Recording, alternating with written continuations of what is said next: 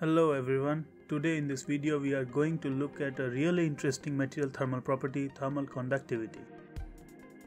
It is such an important material property because it gives us key information on the ability of a material to conduct heat. We can start with a quick experiment. Let's take two rods, one made up of steel and another copper, joined together at one end and stick some matchsticks using wax on both the ends. Now if we apply heat at the joint, which matchstick will fall first? Thermal conductivity can tell us which material will conduct heat faster and melt the wax first. Sticks on the copper side falls first because the thermal conductivity of copper is much higher than steel. So copper conducts heat faster than steel and melts the wax faster. Now we will see how this property works in a solid box. In solids, heat transfer takes place by direct contact known as conduction. Take this blue cuboid. If we apply heat to its one side, it will be transferred to the other end, developing a gradual temperature gradient. Let's see how we can determine the thermal conductivity of a material. First let's give name to the parameters involved. dx, dy and dz are the dimensions of the box. Th and Tc are the temperatures of the hot and cold sides. And Q is the heat applied to the hot side. Thermal conductivity is calculated from the Fourier's law of heat conduction given by Joseph Fourier. Fourier's law states that the rate of heat transfer through a material is proportional to the temperature gradient and the area normal to the direction of heat flow, where the proportionality constant K is the thermal conductivity. Now, if we rearrange this equation, we get the formula for the thermal conductivity, where A is given by the product of dy and dz, and dt is the temperature difference between hot and cold sides. Thermal conductivity has a unit of watt per meter Kelvin. Now we will see what drives conduction in solids. Here we see a hot cuboid. If we cut it open, inside we will see a solid skeleton which is known as lattice structure or the atomic arrangement of a material. This is one of the things which will drive conduction in solids.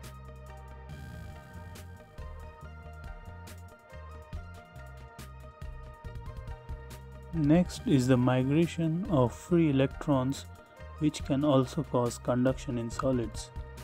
Let's see at the electronic configuration of a metal silver. You can see that its outermost shell has one electron. This is known as delocalized electron.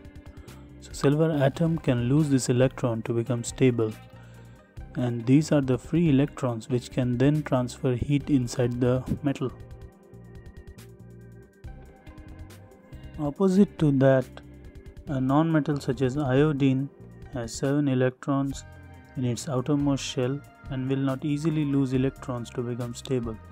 So, non-metals do not have free electrons for conduction.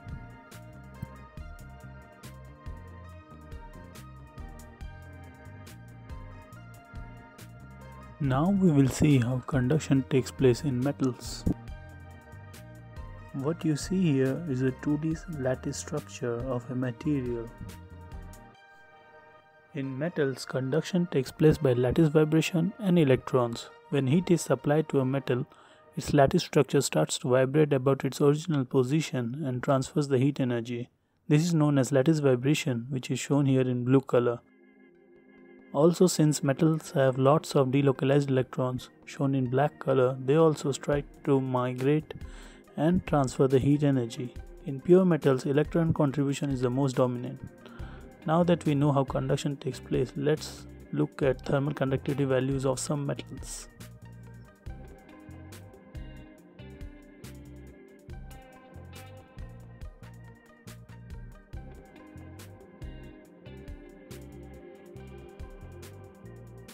Now let's move to alloys. Alloys as we know are combination of two metals So what should happen if we produce an alloy by combining two metals of higher thermal conductivity values? Let's take aluminium and copper and we get a resulting alloy bronze which tends to offer a lower thermal conductivity value than the pure metals itself. It's because atoms of different size will vibrate at a different rate which changes the pattern of thermal conductivity. This results in less energy transfer between atoms and therefore there is less thermal conductivity.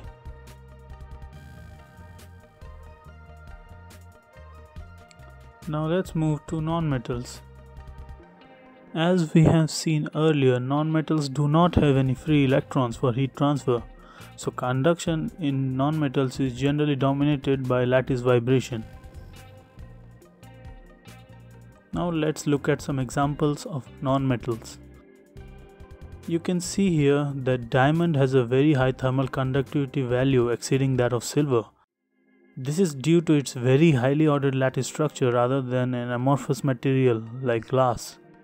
This also demonstrates the effect of arrangement of lattice structure on the thermal conductivity of a material. Now let's take a situation from your day-to-day -day life. A wooden table in a room having a steel glass over it and if it's cold outside say it's at 5 degrees Celsius we can assume that the steel glass and the wooden table are both at room temperature 5 degrees Celsius. But if you touch a wooden table and the steel glass, you will feel that steel glass feels more colder than the wooden table. Why is that so? It's because steel glass has a very high thermal conductivity value than the wooden table. So, when you touch the steel glass, the heat from your body flows at a very higher rate as compared to when you touch the wooden table. So, the steel glass feels quite colder than the wooden table. And that's it. We have reached the end of our video on reviewing of thermal conductivity. If you enjoyed this video, kindly like and subscribe and keep watching for more interesting science related videos.